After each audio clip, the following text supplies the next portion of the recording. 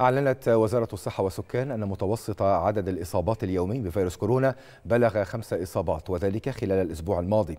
يأتي ذلك ضمن إجراءات الترصد والتقصي والفحوصات اللازمة التي تجريها الوزارة وفقا لإرشادات منظمة الصحة العالمية.